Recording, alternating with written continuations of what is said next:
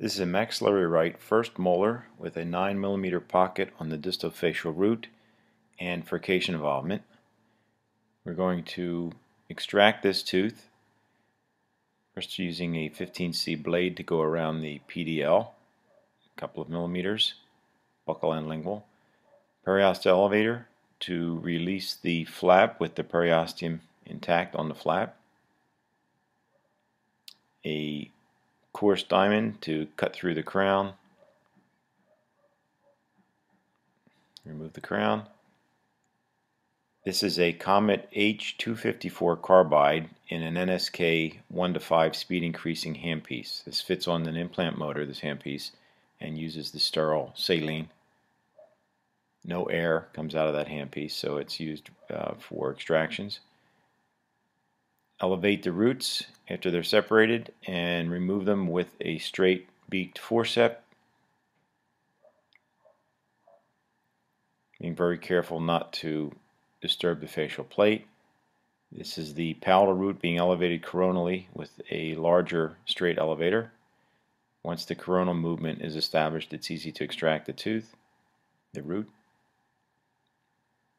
A molt number 2 angled curette is used to clean out any granulation tissue and a scaler to get the calculus off of the second molar.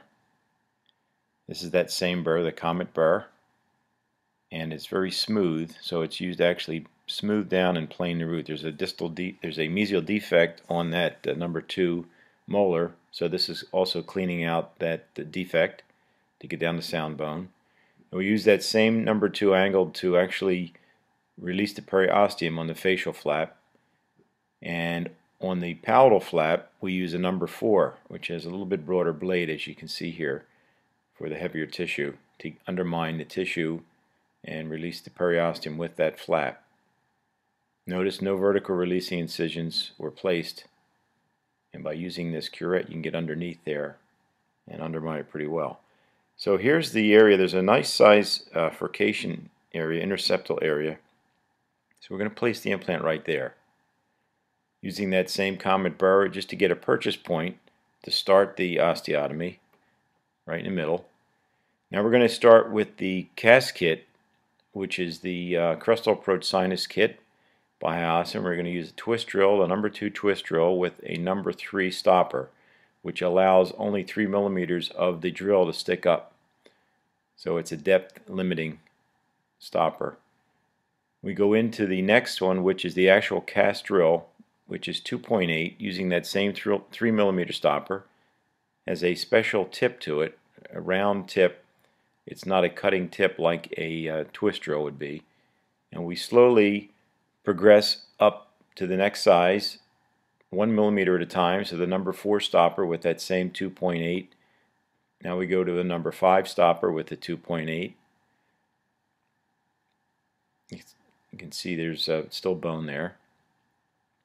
Now we're going to go to the 3.1 CAS drill with the number 6 stopper to enlarge the osteotomy and go a little bit deeper, 1 millimeter deeper. Now we go to the 3.3 with the 7 millimeter stopper.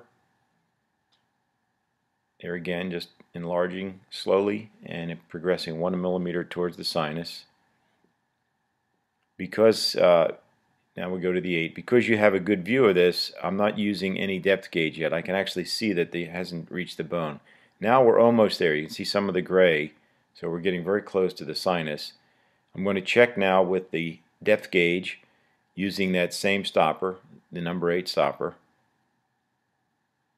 and it still feels solid bone. It's not uh, has not reached the sinus quite yet. So we go to the next size stopper, which is the number 9, using this, the same 3.3 CAS drill.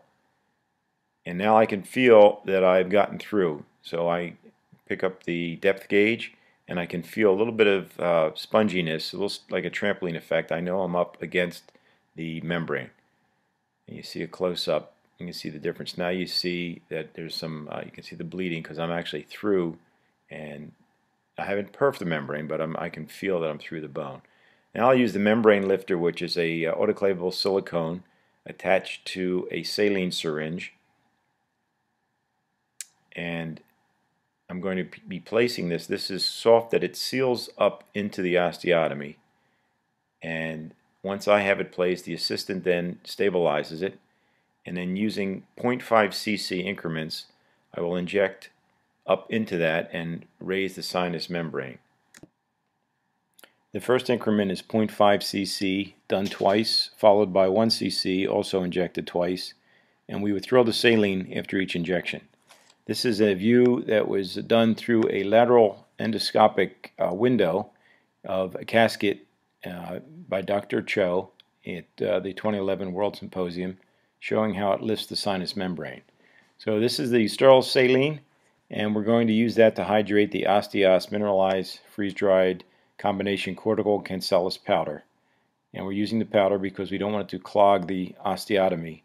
Um, if you inject uh, chips, it tends to clog as you try to push up the chips into the uh, sinus area. So the powder has much smaller uh, dimension to it.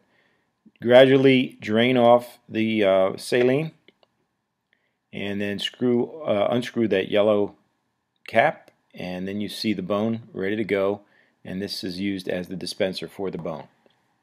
That's the bone condenser that's part of the CAS kit with that same 9 millimeter stopper that reached the sinus just making sure it fits in there passively and then I apply a little bit of bone.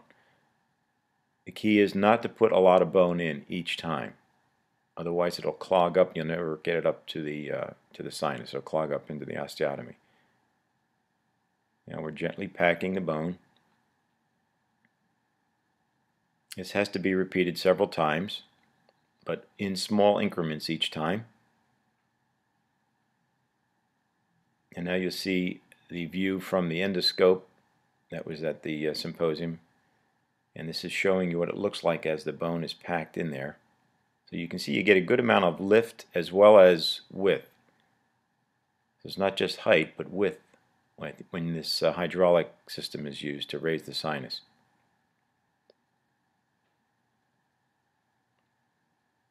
At this point, we use the bone spreader, which is on that same, using that same stopper at 30 RPM, same 9 millimeter stopper that was used, to make sure that no instrument goes beyond the amount that was raised with the CAS drill.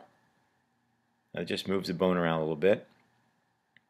Now the assistant's dropping the implant from a distance, so the inner vial, now that's sterile, and I'm going to pop the cap off and pop the smaller cap off. This comes straight off, but I'm doing it with my left hand, and in my right hand I have the fixture mount on the handpiece. Pick up the implant, hold the vial upside down, and just gently withdraw the implant. This is a 4.5 by 11.5 Hiossen ET3. Tell the patient to open. Make sure you don't want to hit anything. Just go right from the vial right to the osteotomy without touching anything else.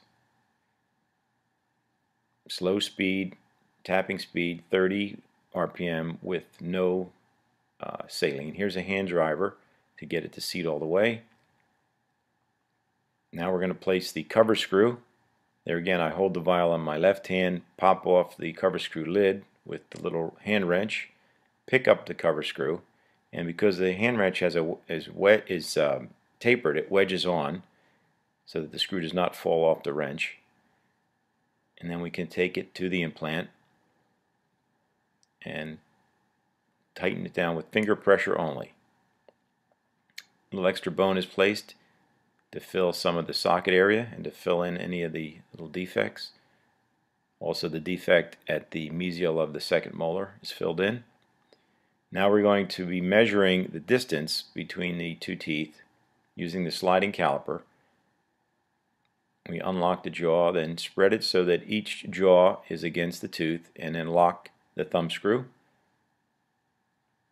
so the caliper doesn't move. A non-resorbable membrane PTFE is being used. Gently peel it back. Take the sliding caliper and since the jaws are locked just make marks and this will define the width of the PTFE membrane that we want to make. So you just basically connect the dots with the scissors, being careful to keep the edges rounded. You don't want a 90 degree edge. So as you come around, just make sure that the edge is rounded. And using that same number 2 Molt Curette, I'm tucking in the membrane. I first went into the palatal flap and I'm bringing it over and I'm tucking it into the facial flap. It's now at least 5 millimeters on each side, down each flap, to hold it in place. 4-0 Vicryl with an FS2 needle, and we start that at the mesiofacial corner from the outside of the flap in, being careful not to catch the membrane. Then we go to the midpoint of the palatal flap with the needle. Then the midpoint of the facial flap. And you can see it here. So I'm not at the very end, I'm at the midpoint of it because it's a pretty broad flap. Then I'm going to take it and go to the distopalatal corner. Assistant hands me the needle. That's the transfer. And then go to the distofacial corner.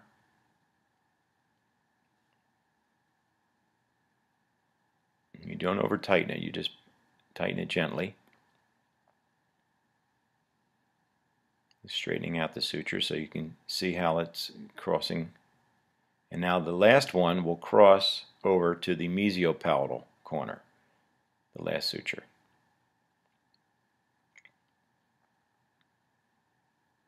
Here the, mesiopalatal corner.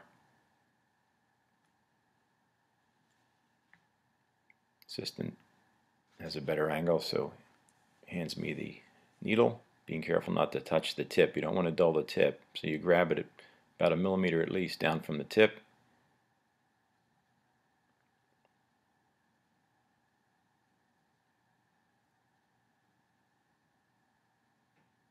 Sutures and snip.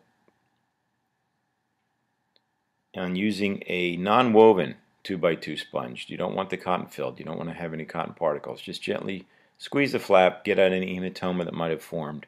You can see it has a good adaptation there. And there's, as I said, at least 5 millimeters of the membrane on either side of that flap, facial and palatal.